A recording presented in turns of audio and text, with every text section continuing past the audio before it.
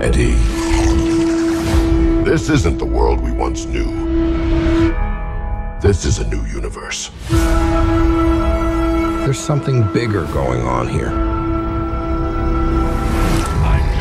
We just need to find out what.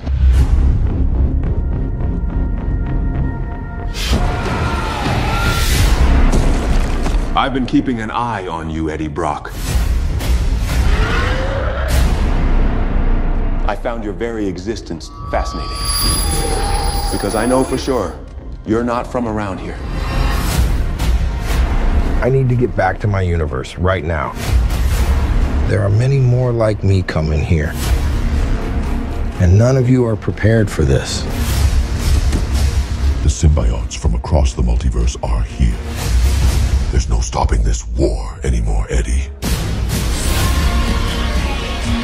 If we don't find him, An entire world of creatures like Venom will threaten our universe.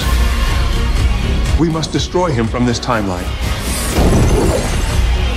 No matter the cost.